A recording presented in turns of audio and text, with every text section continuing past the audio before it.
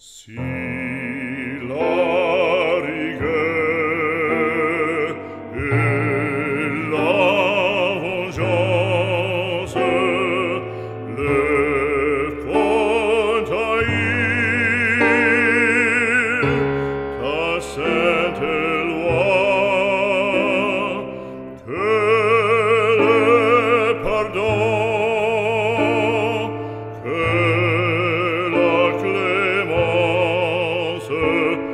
Mon Dieu, mon Dieu, les Romains en séjour.